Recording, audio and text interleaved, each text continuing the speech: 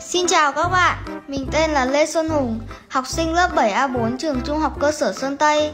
Mình rất vui khi được tham dự cuộc thi Góc học tập khơi nguồn sáng tạo. Các bạn ạ, cứ sau mỗi một kỳ thi thì góc học tập của mình lại trở nên bừa bộn.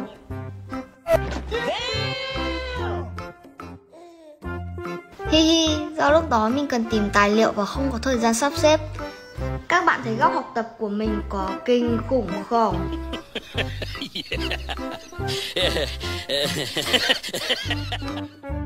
Năm học mới đã đến gần cũng là lúc mình phải làm mới lại các học tập.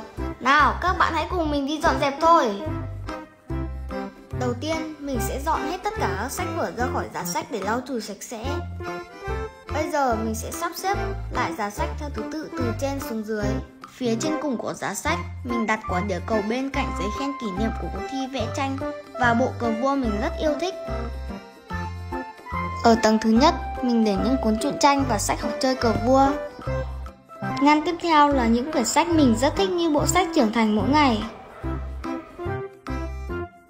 Hay bộ sách những câu chuyện truyền cảm hứng. Và các quyển sách mà ai cũng nên có như Bác Hồ kính yêu, Kính vạn hoa. Ngăn thứ ba, mình để những quyển vở mới chuẩn bị cho năm học sắp tới. Tầng thứ hai, mình để bộ sách lớp 7 và những quyển vở lớp 6 có kiến thức cần lưu lại. Ở khu vực này rất thuận tiện cho việc soạn sách vở hàng ngày. Ở giữa, mình để các mô hình trang trí cho các học tập thêm sinh động.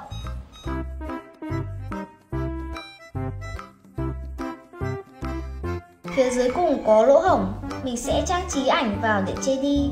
Trên mặt bàn của mình có máy tính, giá gài sách, đèn học, lịch để bàn và ống bút. Ngoài ra, mình có treo thêm một chiếc giỏ để đổ ở khoảng trống của giá sách.